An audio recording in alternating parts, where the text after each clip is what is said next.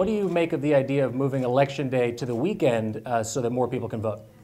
I, I, actually think, as a general rule, particularly because you can now vote absentee, people, I, I, don't think turnout is a problem based on when we vote. I think turnout is a problem based on, on frankly, negative campaigns and the kind of politics we've had that just make people get disgusted.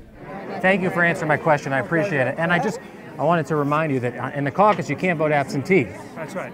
And d- I have one piece of trivia question, respectfully. Do you happen to know why we do vote on Tuesday? No.